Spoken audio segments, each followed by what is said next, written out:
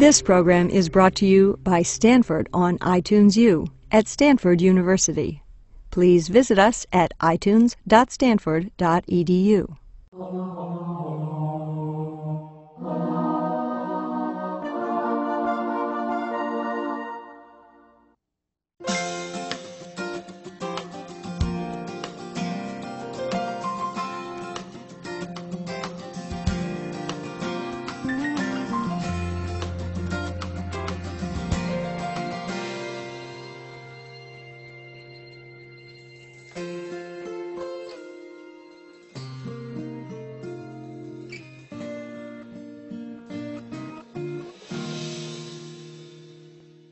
I'm going to take you through some of the definitions and background and the uh, extent of the problem with heart failure, and then just outline for you some of the advances that have been taken place in the last 25 years that's really offered an extraordinary, successful, well-proven um, variety of therapies for this common condition.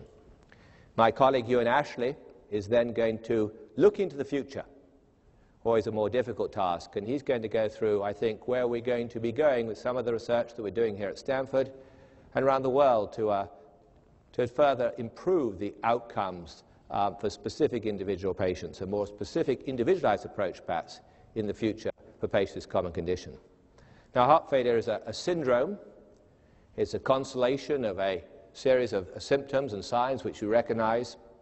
It's been de defined, and this is one of the definitions for heart failure, that's taken out of the uh, guidelines for the management of heart failure for the American Heart Association and defines heart failure as a complex clinical syndrome that can result from any structural or functional cardiac disorder that impairs the ability of the ventricle, the pumping chamber of the heart, to fill or eject blood. Now, you probably think you are, perhaps some of you felt that you were coming to a lecture on congestive heart failure, and this indeed was the old term, if you like, for heart failure, we often refer to as CHF or congestive heart failure. But many patients recognize that with appropriate management, appropriate dietary restriction, that they were not congested most of the time. And so there's been a push to change the term and remove the word congestive from this syndrome um, of heart failure, which goes through phases, perhaps when the patient may or may not be congested. This slide outlines some of the epidemiology of heart failure and just tells us just how common this disease is.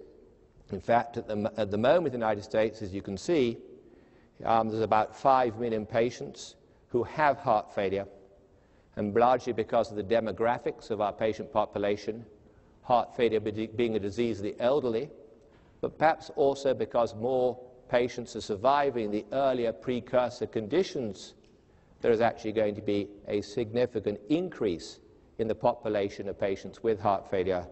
So the estimates are by 2037, we're going to have more than 10 million patients in the United States with this serious condition that uses a lot of healthcare resources and also is a very serious condition in terms of morbidity and uh, mortality for the patients that have it.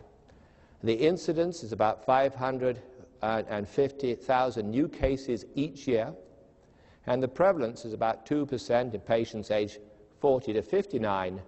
But as I said, a disease the elderly, so that by the time we get to 70 years and older, we um, would expect um, 10% of patients to have heart failure. Sudden cardiac death, a risk for all patients, is especially common in patients with heart failure and is six to nine times higher in the heart failure patient population than a non-heart failure patient population. In fact, rather ominously, the actuarial lifetime risk for a man or a woman who reaches the age of 40 is a 1 in 5 chance, a 1 in 20 chance, a 20% chance, 1 in 5 of developing heart failure. This next slide is a bit depressing as well because it shows this disease of the elderly carries a poor prognosis. Women perhaps have a slightly better prognosis than men and tend to develop heart failure at older age, are more likely to have impaired relaxation, impaired filling of their pumping chambers, as to, opposed to impaired um, contraction. But as you can see, the prognosis in both men and women is poor, with less than 50% of the patients alive at the end of um, five years, and with severe symptoms, the five-year mortality is even higher and um, actually approaches um, as much as 50% at one year in the higher risk patients with this high, high symptomatic patients with this disease. Another huge problem with heart failure is the heart failure patients at risk of recurrent hospitalizations. And you can here you see the number of heart failure hospitalizations in the United States. And rather amazingly to some people, you'll actually see of the 1 million hospitalizations for heart failure, in fact, slightly more, over 500,000 of these occur in women, with just under that number in men. So a very common problem. This slide, I think, is an important slide.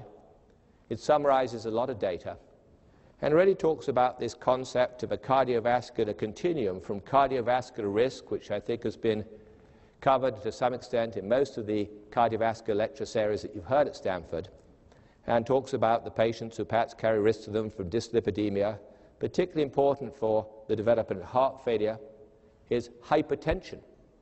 Hypertension with an actuarial lifetime risk of 90%. So many people are going to get hypertension. Patients who develop hypertension then thicken up their ventricles and develop left ventricular hypertrophy are particularly likely to get heart failure. And if you have diabetes, or the precursor condition to diabetes, insulin resistance, it's that patient population that particularly is likely to get heart failure and to develop heart failure with diabetes at a younger age. So this is one continuum, and the continuum that perhaps occurs to most patients, where the injury that leads the vicious cycle and the changes in the heart structure and function, loss of contraction, is often the injury and events that surround the acute myocardial infarction, the coronary thrombosis that causes the secondary loss of muscle and the damage to the heart. I think we recognize more and more, though, from epidemiological studies, that not everybody who has heart failure has had a myocardial infarction, and a significant proportion of patients develop a so-called cardiomyopathy. And although there are different types of cardiomyopathy, the most common one to cause heart failure is an idiopathic dilated cardiomyopathy, meaning that we don't know exactly what causes it. Viruses are often blamed, but if we look back at the epidemiology, we find these patients characteristic would be hypertensive, diabetic patients, again with the features very often of insulin resistance. And so the same pathway seems to take place as to whether you go to your heart failure and the development of heart failure, loss of muscle, following a myocardial infarction, or if it's related to the same risk factors injuring on a chronic basis the hypertension, the diabetes, the abnormal metabolism. And this is where a lot of work is taking place.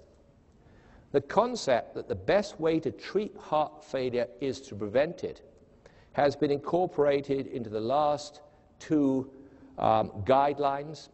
And I put here on the continuum slide this concept of stage A, being patients at risk of developing heart failure, a stage that has been defined and characterized in the guidelines, chaired by Sharon Hunt at Stanford. The stage B patient has a damaged heart, perhaps due to myocardial infarction and to other injuries that may have occurred, but has not yet developed and had the syndrome of heart failure, breathlessness, fluid retention, fatigue. That's a presentation with fluid in their lungs. So the stage C patient is a patient with overt heart failure, and the stage D patients is where we spend a lot of time at Stanford, where the heart failure started to become refractory to the conventional therapies that I'm going to go through briefly that can be so effective.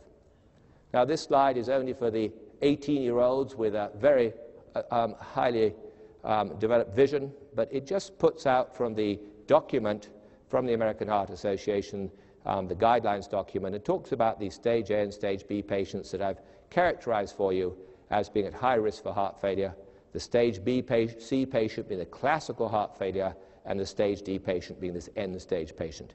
In this slide, the committee who put together these guidelines decided the arrows could only go forwards. So although there are some very effective therapies, I'm going to show some of them to you, where in fact the heart failure syndrome seems to reverse itself, ventricular function will often improve with the therapies we now have available to us, from a conceptual point of view, once you've developed symptomatic congestive heart failure, stage C, you're always characterized and considered to be a patient that has heart failure. More difficult is this stage D patient defined in these guidelines as the patient who is no longer responding to the therapies which we developed for the last 25 years and have been, which have been so effective. So a summary would suggest that there's an injury that takes place. An injury might take place over many years, and the injury might be the combination of insulin resistance or overt diabetes combined with its bedfellow, hypertension, the development of a left ventricular hypertrophy, the abnormal myocardial metabolism, perhaps in this environment, genetic and environmental factors conspiring to cause the heart to change and remodel. But we know that incredibly important intermediary factors as is activation of the so-called neurohormonal system. These are the systems that are basically designed to maintain homeostasis. The systems are designed to maintain usual vascular tone, to regulate salt and water um, in this environment that we find ourselves in. They're the systems, the sympathetic nervous system is on this slide, designed for brief bursts of activity, for fight and flight. And yet we know, and much of this work was done at Stanford, that we take out a heart from somebody who's had end-stage heart failure, that there's been chronic activation of the sympathetic nervous system, and this continuous exposure of the heart to high levels of adrenaline and catecholamines has contributed to this vicious cycle of remodeling. And so the neurohormonal system becomes tied up in the heart failure state and is responsible for heart failure, if you like, begetting heart failure or worsening heart failure. And this understanding of the role of the sympathetic nervous system, the renin-angiotensin-aldosterone system, arginine vasopressin is where I think we're going to see drugs in the future, drugs that mimic the natriuretic peptides who have the, some of the opposite balancing effects. These, these lead to dysregulation of salt and water, retention of salt and water, constriction of the arteries so the heart has to work harder, but most importantly, a progressive change in the structure and function of the heart that tends to dilate under the common forms of heart failure, get thicker, and lose its ability to contract normal. This slide is a rather more complicated version of the two principal adverse systems involved excess continuous activation of the adrenergic nervous system, simplistic attempt by the body teleologically to main contract, maintain contractility by increasing the force and rate of the contraction, attempts by the renin-angiotensin-aldosterone system, if you like, to prime the pump and maintain blood pressure with these other important hormones contributing to an excess resistance to the failing heart vasoconstriction. But instead of, fading the, instead of supporting the failing heart, these systems seem to conspire, when chronically activated, to contribute to the myocardial damage, the hypertrophy, the reduced contractility, and this process of changes in the myocardium, largely driven by the neurohormonal system, we refer to as remodeling. So these are the principal targets. Angiotensin II, the, end, the, the, the effector um, hormone, if you like, of the renin-angiotensin-aldosterone system. Aldosterone related to angiotensin II, but separately um, secreted from the uh, adrenal glands, and norepinephrine locally um, secreted at the end of the sympathetic nervous system, and also released by, of course, the uh, adrenal glands. So these are the targets that we've had drugs available to us to modulate for some time. And so perhaps the reason they chose an Englishman, a Scotsman to give this lecture is that when I came to Stanford in 1982, we had two drugs to treat heart failure. One, the digoxin, developed in England by Withering, who noticed the foxglove tea being given to the patients with the dropsy, this fluid retention, and a drug that is now over 200 years old. And finally, we know that its impact on survival is exactly neutral, with as many patients developing an increased risk of arrhythmic sudden death who are given digoxin as the number of patients who have less death due to less progressive heart failure. So digoxin perhaps useful to keep you out of hospital, certainly useful if you've got a defibrillator and used in advanced heart failure, but a drug that's 200 years old, derived from the foxglove, and, and uh, a drug that actually does have some impact to augment contractility but which we now recognize, perhaps more importantly in low dosages, is actually also modulating and reducing the chronic sympathetic outflow um, to the failing heart. Diuretics, I think, have been the most important breakthrough therapy in terms of symptoms.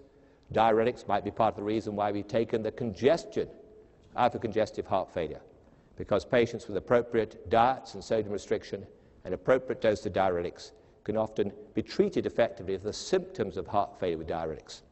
But when I came here in 1982, these were the only two drugs. We had other drugs we were experimenting with, and these drugs are not used widely now because, on the whole, those drugs turned out to be harmful, including drugs that were designed to prevent the risk of arrhythmias. And what we did have, and it's perhaps appropriate that we mention him today, because it's almost exactly one year after he died, Norman Shumway was offering patients with this disease that inevitably in those days used to progress, cardiac transplantation. And this is a news conference, somewhere at Stanford. I don't think this building was built, but I might be wrong. I don't think it was. On January 6, 1968, um, when the first U.S. transplant was being described to the press.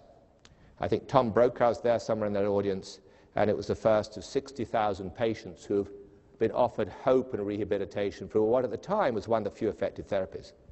But in the, last, the next few minutes, because I don't want to take up all the time, I'm going to try and briefly describe to you the extraordinary progress that has taken place in drugs that largely modulate these neurohormonal systems, improve survival, reverse this remodeling process, and, improves, and um, decrease the risk of hospitalization. And then nowadays, for many patients who don't respond fully to these drugs, we have so-called devices, special type of pacemakers, special kind of pacemakers that are defibrillators, also tested in very well conducted randomized trials. I might say that there's a huge partnership with the pharmaceutical industry in this 25 year period where the drugs were often conceptualized within academic medical centers, the role of the sympathetic nervous system being evaluated at Stanford in the hearts that came out at the time of cardiac transplantation. This system explored, and then the pharmaceutical companies often sponsoring and supporting the trials that have led to drugs that have fundamentally changed the natural history of the disease. This is a complex slide, but it shows this renin-angiotensin-neuroserine system. And we do have drugs, or we're developing drugs that are antagonists of this hormone renin, which is released by the juxtaglomerular apparatus of the kidney. When renal perfusion is decreased, angiotensinogen available in excess in the liver, cleaved by renin to angiotensin 1, and a drug that many of you heard of, the ACE inhibitor, works on the angiotensin converting enzyme, inhibiting the conversion of angiotensin 1 to angiotensin 2. Not completely blocking it, but inhibiting it.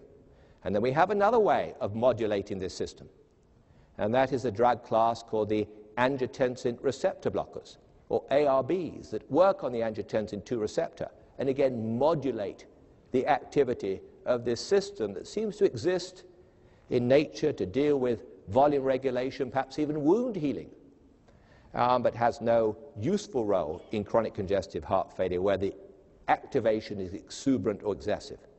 Downstream from angiotensin II and partly modulated by angiotensin II is another very important hormone called aldosterone, regulating sodium and potassium balance in the kidney, and itself now a target for therapy with both new and old drugs. And you can see the influence shown on this slide of sodium retention, and getting rid of fluid and preventing fluid retention of these interruptions, these pathways, but also the important effects on remodeling, which parts aren't emphasized on this slide. I was at Stanford when this study came out. Those with you sharp eyes will see it was in 1987. And this was the first time that we showed that we could give drugs to patients with advanced heart failure and have a dramatic impact on their survival.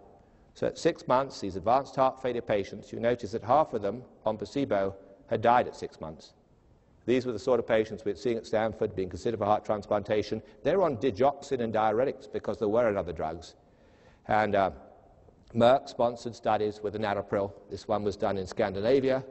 There's a place here called Northern Scandinavia, so we could say consensus, but of course we don't really know that if there is a Northern Scan Scandinavia useful for the trial purposes.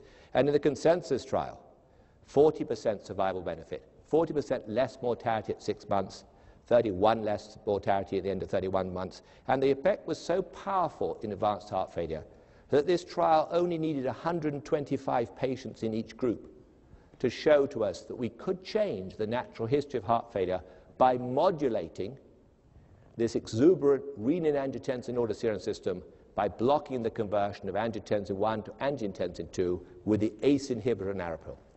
It worked quite well in less sick patients too. Less sick is a relative term. More than 10% of the patients had died at the end of one year.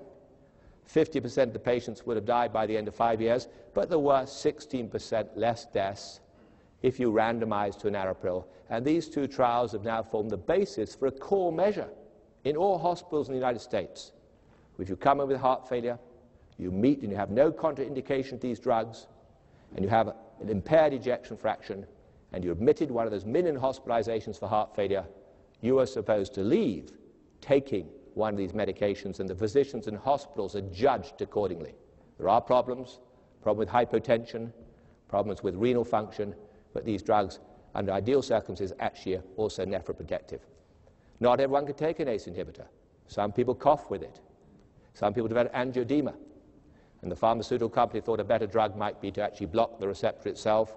And we know, without showing you all the trials, a variety of trials, that in round terms show us that the angiotensin II receptor blockers are about as effective as the ACE inhibitors. And this is a trial that compared one with the other directly. We also we use an ACE inhibitor with an angiotensin receptor blocker, a sort of belt and suspenders concept, there's little to be gained in most patients, particularly because we now recognize that patients with heart failure need a comprehensive blockade or modulation of this neurohormonal system. And they're treated also with aldosterone antagonists because we now recognize that all the ACE inhibitors in the world, all the ARBs, the angiotensin receptor blockers, or the two drugs given together do not fully suppress another adverse player in this milieu of heart failure, excess aldosterone activation producing inflammatory lesions in the brain, in the vessels, causing fibrosis and scarring in the heart, increasing the risk of a arrhythmic sudden death, increasing the process of remodeling this fibrosis and the progressive thickness and dilation of these injured ventricles. And so now we have two good trials. This one was done with a non-patented drug, spironolactone, an old drug. The patients who got spironolactone compared to the patients here on ACE inhibitors now plus diuretics, often with digoxin, were 30% less likely to die. So we combine, watching the potassium very carefully, risk of the potassium going too high, an ACE inhibitor with an aldosterone antagonist. A new drug, a very similar drug, another aldosterone antagonist, is called eplerenone. And this is less sick patients post-MI. And the placebo group here is beta blockers, we're going to come to those, and ACE inhibitors, and the active group in, in, in green here is the eplerenone plus ACE inhibitor plus beta blocker. So many patients with heart failure question, why do I have to take all these drugs? And they have to take these drugs because we have very convincing trials to say that if they are lucky enough to be able to tolerate and take these drugs, they're going to have a profound impact on their survival.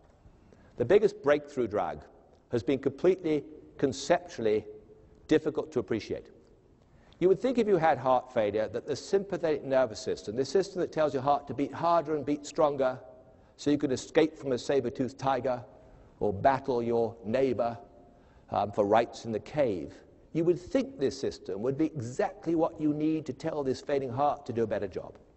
And for years, that was what we all thought. And we researched on drugs that stimulated and mimicked the sympathetic nervous system.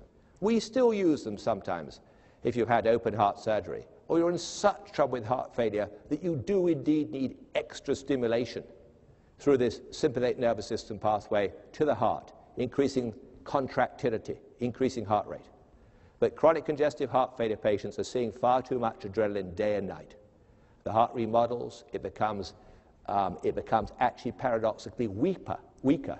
And we know this again because of basic work, and a lot of it was done at Stanford, largely by my predecessors, but looking at the explanted hearts. And all these three trials here, a CIBIS-2 trial is the name of the trial, the drug, the beta-1 blocker was called bisoprolol, US carvedilol trials, just 1,092 patients. But the ejection fraction in that trial went from 19 to, to, to, oh, to, to 19 to 28 percent. There was a 10-point ejection fraction improvement when you took away the adrenaline double-blind trial. Nobody knew who was getting carvedilol. Nobody knew who was getting placebo. And a 64% survival benefit. And the trial, all these trials stopped early by independent data safety monitoring boards um, because it was felt to be unethical to continue the placebo patients without the benefits of the active therapy with the beta blocking drug. Now, again, some details, some skills as to who will tolerate these patients, how to gently up titrate them, And many patients with stage D heart failure have to have these drugs peeled away because they can no longer tolerate the high doses of antiadrenergic therapy that would otherwise be protective. One trial only this non-selective vasodilating beta-blocking drug has actually showed even patients with very advanced heart failure. Look at the mortality again here. At one year, as you can see, 20% of the patients have died. And these patients here are on ACE inhibitors, and they're on taking diuretics and some on digoxin, and this substantial, again, 34% survival benefit. And you can see the difference in the curves, a practical benefit. All the effective drugs so far not only improve survival, they tend to make the patients feel better in double-blind trials, and they keep them out of hospital. However, there's an Achilles heel for many of our patients. And the Achilles heel remains the risk of arrhythmic sudden death. Of course, sudden death, death overall, is much more common in these so-called class 4 patients, patients with severe heart failure. But in fact, sudden death as a problem, as a proportion of deaths, although the mortality overall is better, the proportion of patients who die suddenly is actually a bigger problem in the less symptomatic, less limited NYHA functional class 2 and 3 patients. But again, without going into a lot of data, we now can treat patients through a simple or relatively simple procedure and put under the skin in selected patients whose heart remains abnormally remodeled. We now know due to coronary artery disease or just a cardiomyopathy, and we can see a survival benefit by preventing that arrhythmic sudden death by having a specialized type of pacemaker that will monitor every heartbeat and deliver therapy, deliver a shock under appropriate circumstances so that patient doesn't have to rely on being witnessed and have bystanders do CPR and wait for the paramedics to save his life. Even more so than that, some patients who develop cardiomyopathy and heart failure have an abnormal abnormality in the electrical conduction of the heart. The wiring system, if you like, goes wrong. So seven, instead of the contraction being nicely coordinated with the electricity, signaling the heart to contract in a organized manner, almost like wringing out a towel and throwing the blood out into the aorta, the heart becomes dyssynchronous. And it's been dis- uh, recognized now this has adverse consequences. Some are written on the slide. And that appropriate pacemakers, placing a lead in a vein, if you're lucky enough, you can get there, placing a lead in the coronary sinus to pace simultaneously over the left and right ventricles to so-called resynchronize a patient. And again, two large randomized trials, I just show one of them here, survival benefit. And these three curves on this slide show the placebo patient on optimal medical therapy with a one-year event rate, um, a one-year um, event rate of optimal medical therapy of um, 19%, and then the reduction, risk reduction shown with the so-called resynchronization therapy and the curves you can see clearly separate in terms of the patient who gets resynchronized and even further if that resynchronization device is combined with the capacity to deliver shock and, and, uh, and defibrillate you. So yesterday it was rather nice. I met one of these patients who I followed through, who came to Stanford Heart Transplant, and I saw him again in clinic, and he's just been around at the right time. Now, without being able to uh, this is a very dilated, very poor ventricle. This man has not had a heart attack. This is in June 1999. He had very high triglycerides. He had triglycerides at 2,000, which is very high. He has very high cholesterol, but didn't have coronary artery disease. He probably had a cardiomyopathy related to prior hypertension and insulin resistance, so very weak heart muscle. He was on all the right therapy, meaning he was lucky enough to be given um, beta blocking drugs, ACE inhibitors, aldosterone antagonist, but as you can see, he didn't really get better. We recognized he had a very large heart, and so we put a defibrillator in him, and the defibrillator, in fact, started firing, and quite clearly from interrogating the information from the device, um, was firing in such a way that he would have probably died without this defibrillator delivering shock therapy.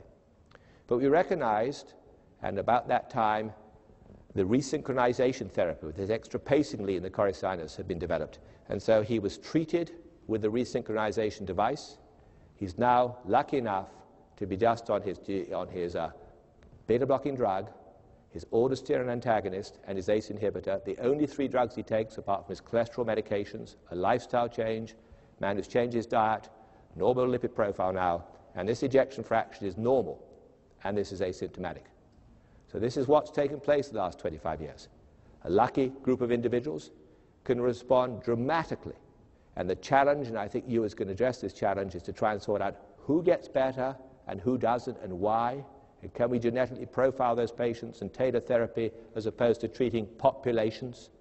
And most importantly, if you reach stage D heart failure, is there anything better that we can offer than cardiac transplantation, which offers the hope of a 60% survival, but is clearly a huge operation to go through, and clearly from a practical point of view, 2,000 procedures in the United States with 400,000 people dying from heart failure. So I'm going to stop there. Thank you very much indeed for attention.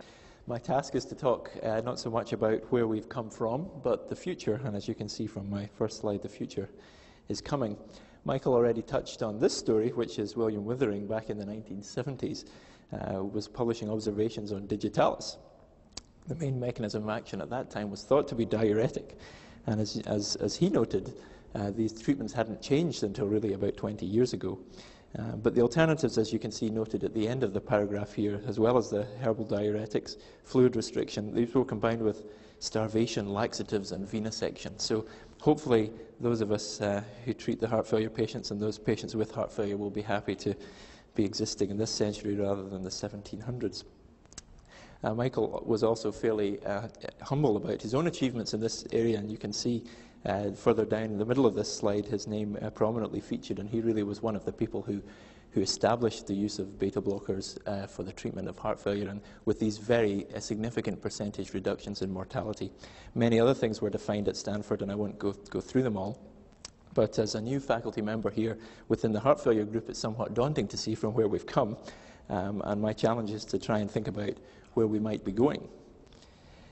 So, one of the opportunities uh, that uh, brought itself to the fore, that uh, gave us some idea of where we might be going, was, was put together in 2001 when the Human Genome Project was finally published. And Eric Lander and Craig Venter, who are shown here on the left, presented the provisional uh, Human Genome Project, the 3 billion base pairs, the signature uh, of life, really the alphabet that makes up our genetic code.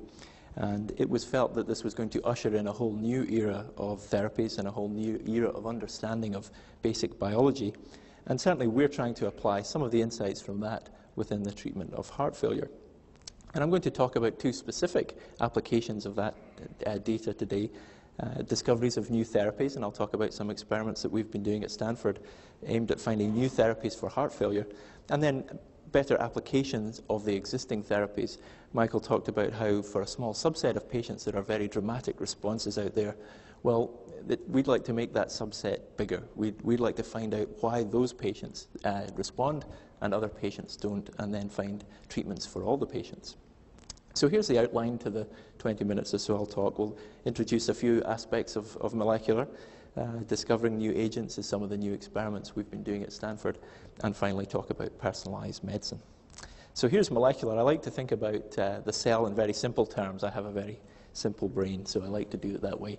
And I think of uh, molecular biology a bit like baking a cake.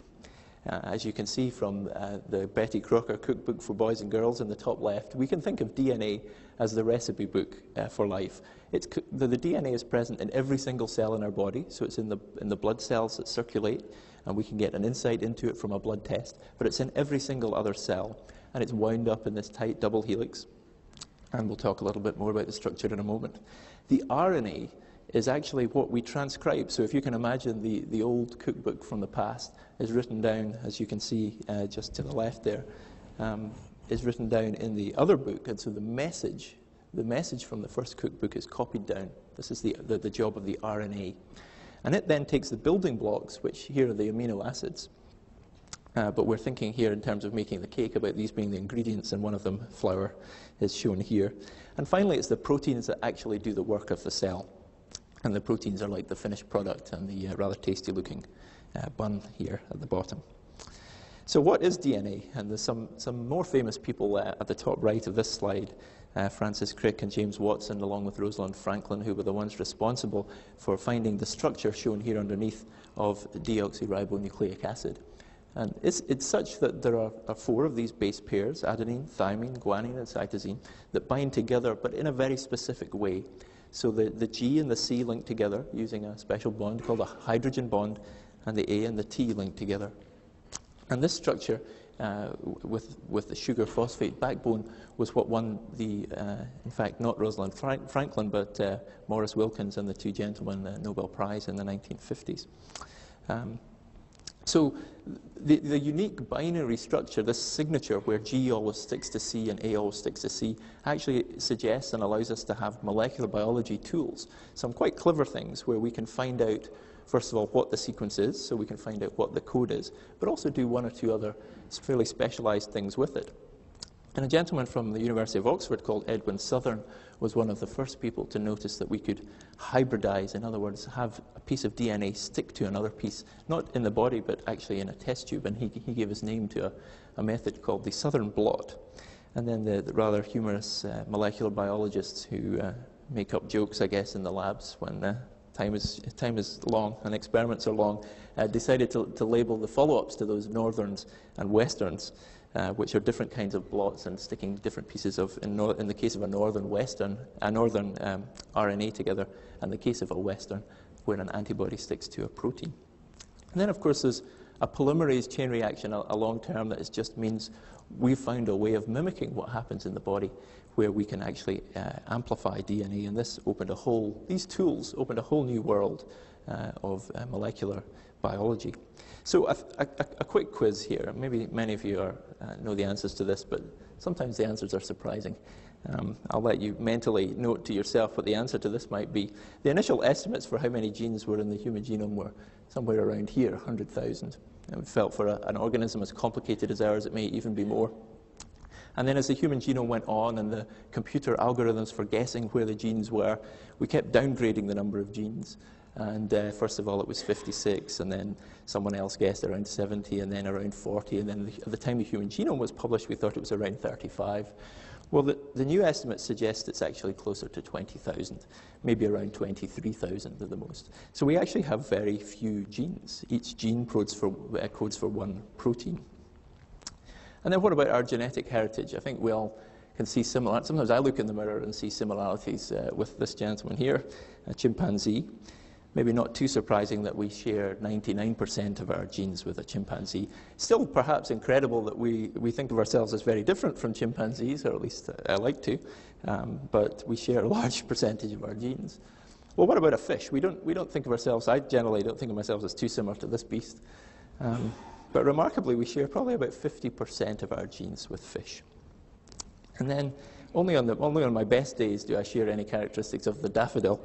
Um, but this might surprise you 35% of our genes are shared with the lowly daffodil. So our genetic heritage is long and complicated, and we're in the middle of trying to work it out. So, does, what does all this mean for, for heart failure? And that's what we've spent some time trying to do at Stanford. What about tomorrow's targets? We've talked about the ACE inhibitors and the beta blockers and the aldosterone antagonists. where are we going to find treatments for tomorrow?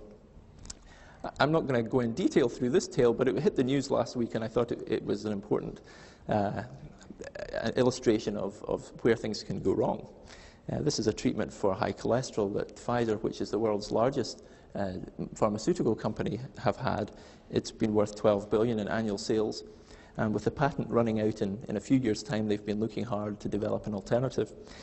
Looking hard and spending a lot of money, $800 million is approximately, it's at the upper end, but it's approximately what it costs to bring a new drug to market. And the trials uh, were in combination with their present drug, Lipitor or atorvastatin.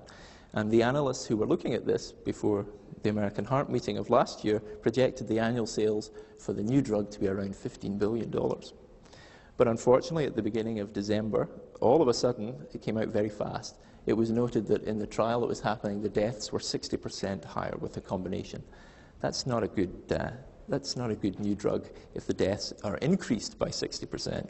That's about as bad as it could be. So the FDA were informed, and as you can see, this, the share price of Pfizer dived overnight, wiping approximately $21 billion off the market value of Pfizer.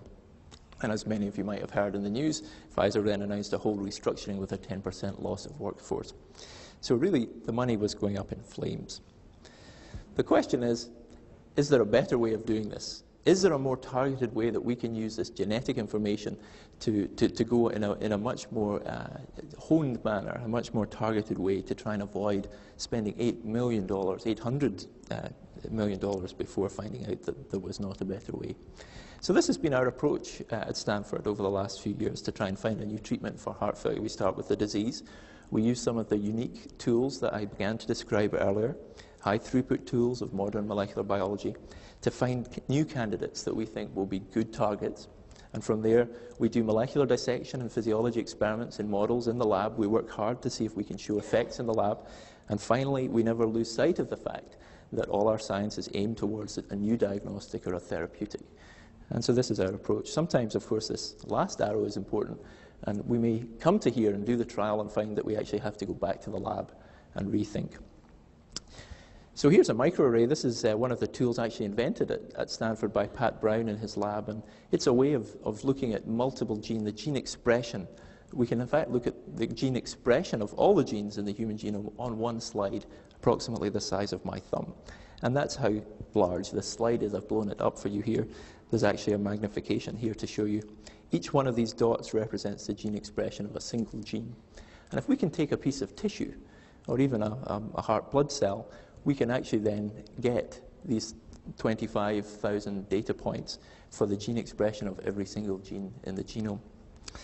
And so this technology was available, and we felt that we had a very unique resource here at Stanford. And in fact, again, the, uh, the uh, credit for this goes entirely to, to Dr. Fowler because uh, what he thought at the time was that we, we, at Stanford, we were also one of the first to put in these left ventricular assist devices. So a heart, kind of artificial heart that helps these very weakened hearts to recover a little bit while we wait for a transplant donor to become available.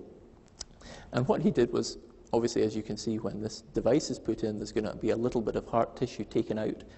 Well, he collected the heart tissue and then waited while that patient uh, waited for transplant, and then any time between two months and 12 months later, the patient had a heart transplant, at which point the whole of the heart came out. So we now have two samples from the same patient, one at the very weakest point, and one two to 12 months later when the patient has actually had some recovery of heart muscle function because it's been offloaded by this artificial heart. So what we did was combine this very unique idea with the microarray that you saw on the previous slide to look at the gene expression changes because we thought if we can see what genes are changing when the heart's recovering, we might have a clue as to where we might find our next therapy in heart failure. And so that's what we did. So you might recognize the gentleman on the left. Most people, I think of him as a, I guess, now retired politician. I, I think of him more of as a philosopher of science because he, he said something. He said something really very intelligent one day. He said this. He said, Reports that say something hasn't happened are always interesting to me because, as we know, there are known knowns. Things we know we know. That seems reasonable. He said, We also know there are known unknowns. That is to say, we know there are some things we do not know. That also seems quite reasonable to me. But then finally he, he said, but there are also unknown unknowns, the ones we don't know, we don't know. And although I think he was talking about the whereabouts or not of, of Osama bin Laden, I thought he actually said something very profound here. He actually got a foot and mouth award from the Plain English Speaking Society for, for saying this. but I, I think he said something profound, specifically about microarrays, actually. This is what he was talking about. Because in a microarray, you see there are known knowns. There are genes we know, and we have the name, and we know what they do, and we know what they're for. And then there are known unknowns. There are genes ha- which have a name, but they have no function. And then, in, decreasingly now, but at the time we did this study, there were a few of the unknown unknowns, genes about which we knew nothing. They had no name, they had no function. And so this is what we were looking at when we set out with this experiment, and here's the principal result. And don't worry about the colors or really the list. This is the most upregulated 100 genes. Actually, I think there's only maybe 50 on this slide. And the most uh, importantly, downregulated 10 or 15 genes. Now, one of the first things was that we found an important diagnostic gene here, this natriuretic peptide gene. And uh, Michael mentioned, mentioned it earlier, and this had already been shown to be an important diagnostic in heart failure. So it gave us some sense that this could be an important technique and we could find something new. And right up at the top was a gene called angiotensin receptor like 1, Well, that sounded familiar to us. Angiotensin, that sounds like it might be important in heart failure, but receptor like one, so it's like angiotensin but not the same. So we were intrigued, and we really, to cut a long story short, because you don't, I think, want to hear the whole story, spent the next four years looking into this system. At the time that we discovered it, there was very, really very little known, almost nothing known about it, other than the ligand for the receptor could reduce blood pressure. But summarized on this slide is, is four years of, of work, essentially. Uh, first of all, we worked out where it was, which is in the blood vessels, also the receptors found on the heart. We then injected it into mice and did a magnetic resonance imaging scan and showed that the heart function really didn't change a great deal, um, but that we seemed to reduce load because the, the, the, size of the heart just before it contracts was, low, was lower when we gave apelin. Um, we also did a, a, study where we put a pressure catheter actually into, the, the, into a mouse heart to measure the effect of this new peptide, and we found that it improved the contraction. So it reduced the load, it improved the contraction, it seemed to do it in a safe way. This is a result from a single cell where we infused the peptide onto a single cell and showed an increase in the contraction. And finally, it seemed to have a, an important, uh, not shown here, an important uh, effect on fluid balance. So it seemed to be hitting three or four of our really our holy grail uh, features. If we were to, to, lay out what would be the holy grail of a, of a new intervention for this, we seem to be, just by luck really, be hitting it, or, or by sort of programmed luck. And so finally, what we had to do was, was test, do an animal model of heart failure, and actually see if, if we could improve heart failure in an animal model. And just in the last few months, we've been able to show that. And so here in, in, a, in a rat model on the left-hand side, and here, maybe focus on the one on the right for, for a short time here. Um, this graph with the little open squares is what happens if you give no apelin. So we, heart failure is here. This is the ejection fraction, the amount of blood pushed out by the ventricle every beat. And as you can see, it goes down by about 20%. But if we give apelin to this group, it's actually completely abrogated. So it completely stops heart failure in this model. And so as a result of this, we're really very excited to move this as fast as possible uh, to human trials and to try and see if we can really have a, the same sort of significant effect in humans as we can have in the smaller animals. Uh, and we're, we're, I, am excited because I think this is a great example of the sort of collaborations that's, that we're able to do at Stanford using new technology and the unique resources from the cardiovascular medicine department. So here's the last part then. I promised a little bit about uh, personalized medicine. And we're going to shift a little bit. We were talking about gene expression there. So that's the, if you like, that's the copybook where we took the recipe and, and, wrote it down in another book. We're looking at the message as it goes by. Well, sometimes there are variations like spelling errors, if you like, in the cookbook itself. And that's where the area of, of personalized medicine comes in. I don't think you need the photograph on the right to uh, have me tell you that there are differences in, in the humans and uh, other animals with genetic variation. There's very common genetic variation. 90% of genetic variation is single nucleotides, so there are single spelling mistakes, just where one, one letter is, is exchanged for another. And these occur with, with 1% frequency every 100 to 300 bases. Remember, there's 3 billion letters in the human genome, so it's actually very, very common. And a sort of follow up to the Human Genome Project was this uh, uh, SNP, SNP is how we usually call it, single nucleotide polymorphism, this variation database which was actually uh, more or less complete, although it's still being, being added to. And so we do also have a database, an encyclopedia of common human genetic variation. And here was a study not done by us in one of the receptors for, for beta blockers that showed uh, a ratio of 5 to 1, so a risk ratio of, for the time to death or heart transplant within a heart failure population, depending on which one of these variants you had in your genome. So clearly, the, it has a very important role to play, and we have to describe it. Last week I was here at this forum talking about disease, one disease that's caused by very rare mutations, but mutations that have very large effects. And these are the diseases that run in families, and this is the most common cardiovascular one, hypertrophic cardiomyopathy. And it's, it's about 1 in 500 in the population. But the mutations are very rare, although there's 400 mutations. If you think 400 different mutations causing a 1 in 500 disease, it's much more than a 1% frequency, which is what we were talking about for the, uh, for the SNPs.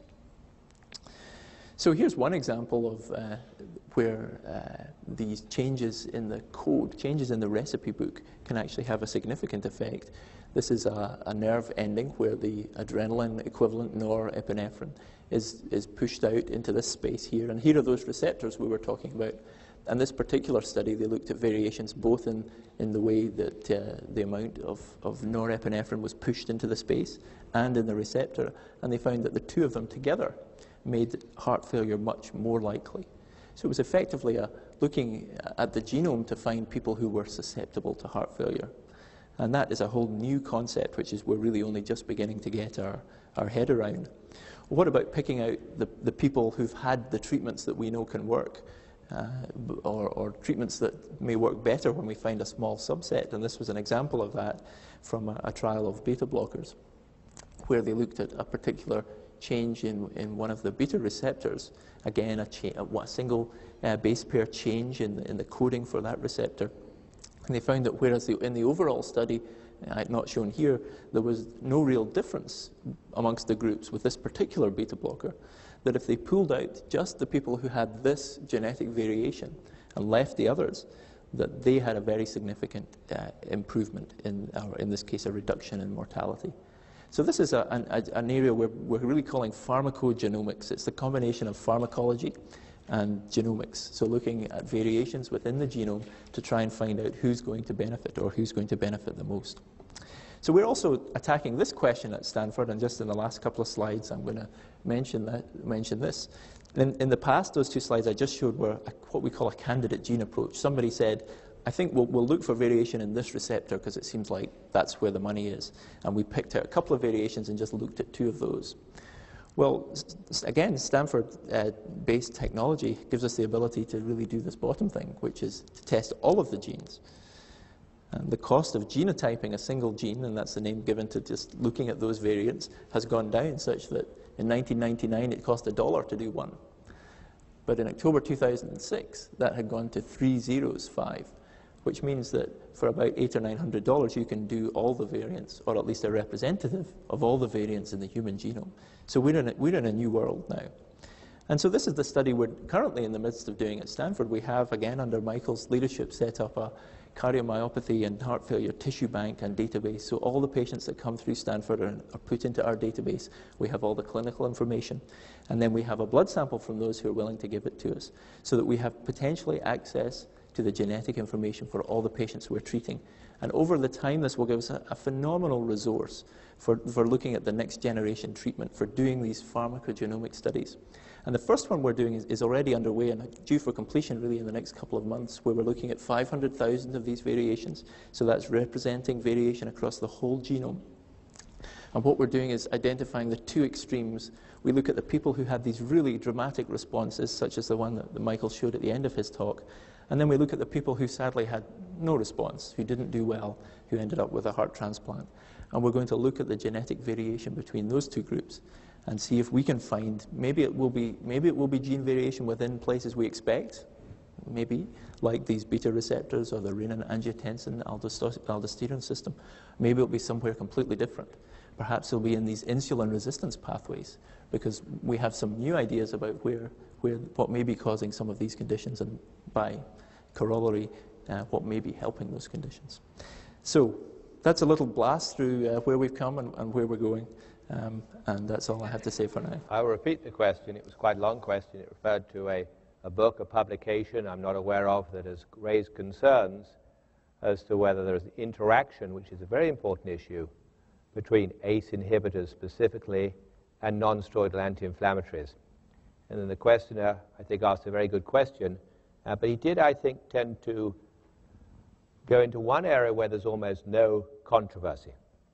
On the whole, non-steroidal anti-inflammatories, inflammatory drugs, the NSAIDs, with the exception of aspirin, are going to have adverse cardiovascular effects that are most apparent in patients with heart failure. So when we meet a patient with heart failure, there's a lot of education, a lot of help perhaps in going through all the medications they're taking, a lot of advice about diet. And one of the things that we do is we make certain the patients who have heart failure, who should be on an ACE inhibitor or an angiotensin receptor blocker, are not having the adverse effect from a non-steroidal anti-inflammatory. The non-steroidal anti-inflammatory, the impact of aspirin is much less clear. And a very controversial subject looking back through the trials and trying to work out who was on aspirin and who wasn't. And was whether the undoubted benefit, the absolutely clearly established benefit of ACE inhibitors is somehow reduced or mitigated by aspirin remains controversial. My interpretation of the data is that there is an interaction, it is small enough to be unimportant, and does not take away from the benefits of aspirin in general cardiovascular health in this patient population. So we routinely use ACE inhibitors or angiotensin receptor blockers and have our patients, when indicated, on aspirin, but always avoid non-steroidal anti-inflammatories, including when these patients develop a common complication of a patient on diuretics with their background conditions of gout. And so we use an old-fashioned drug for gout, often colchicine, or even have patients take steroids because we see patients run into trouble to end up in hospital, get renal dysfunction when they're treated with nonsteroidals. So you brought an important question up, but you surprised me in one area. You questioned as to whether ACE inhibitors are any good or not.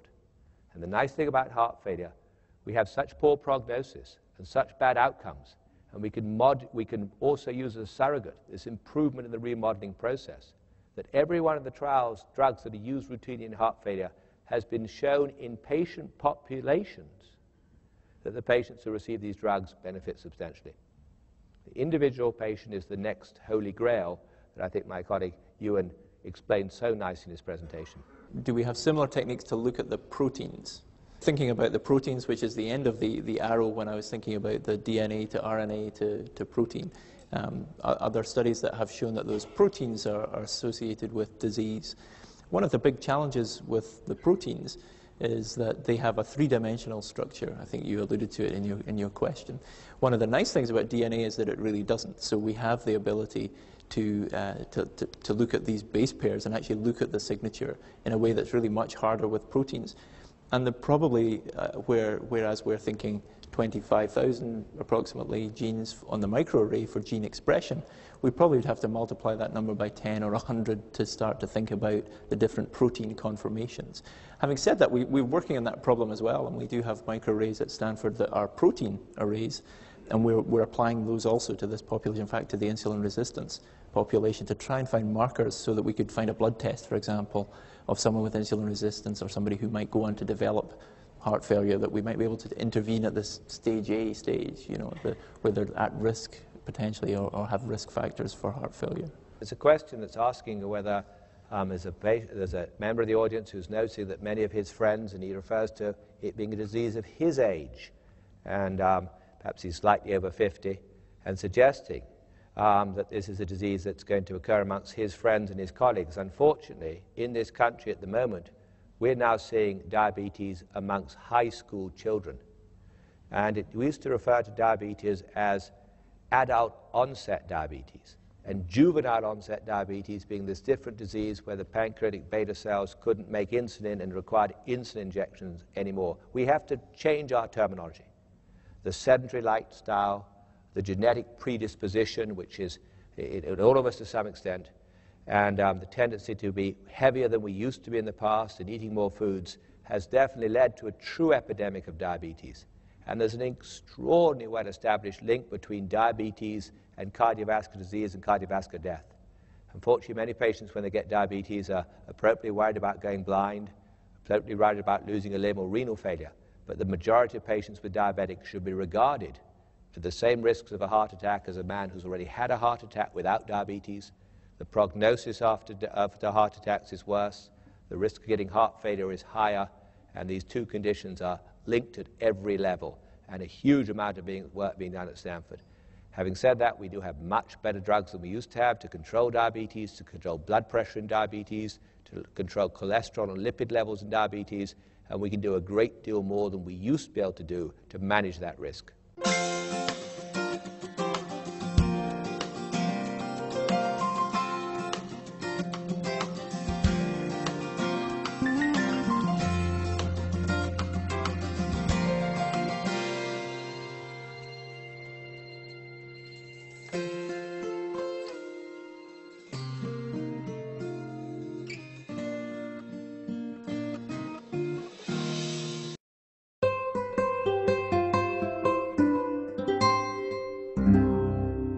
The preceding program was brought to you by Stanford on iTunes U.